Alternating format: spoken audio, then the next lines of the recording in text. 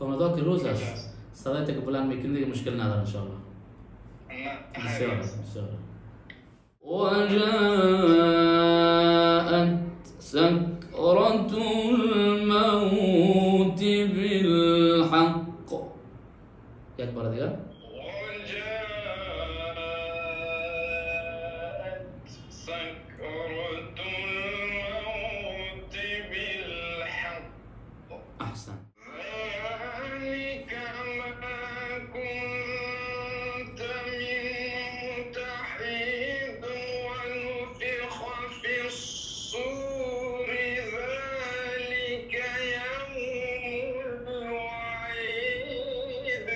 ما شاء الله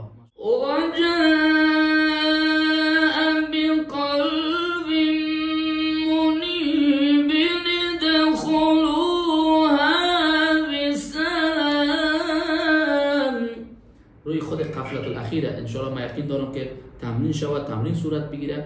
گفتم در آیاتی که ما مشکل می داشته باشیم چی از بود تجویدی چی از بود صوت و چی از بود نغم یا لحن او را سر از او ساده نگذارید در تمرین های خود. گفته بودم.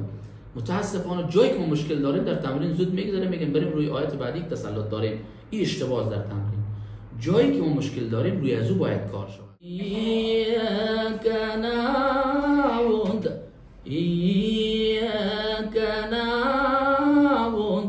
کار میشه که انجام شود چیست؟ که ما طبق الاصل استماع می‌کنیم میشنویم از اساتید ما. هر کسی که برای ما استاد مشوره میده که باید از او گوش بکنیم. طبق الاصل تقلید می‌کنیم ولی قرائتش میمونیم به زعم خود ما تا حدی که توان انجلی ما باشد اون اجرا می‌کنیم. به خاطر ناراحت نشیم. حالا زمانش مثلا نفس استاد عبدالباسط ما ندارم.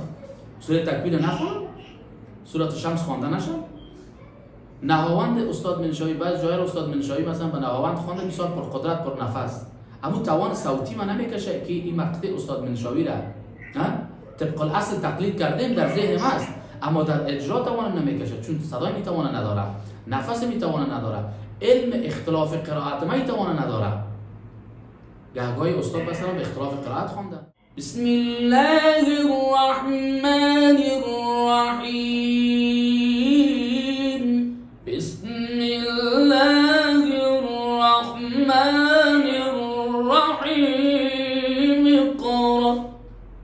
اقرأ باسم ربك الذي خلق. أستاذ مصطفى بسم الله الرحمن الرحيم الحق در تمرین ما باید بفهمیم که مشکل ما در کجاست. همین قطعه که از استاد ما خوانده مشکلش در کجاست؟ در قفل الاخیر است در بحث تجویدی است. یا در بحث خود ورودی یا دخلی خود مقام است که وقتی از یک مقام میم وارد میشیم روی مقام دیگر. در کل ماشاءالله بسیار هم عالی بسیار زیبا. اجرای بسیار خوب داشتن امشب. فدا جان انشاءالله که موفق و معید باشیم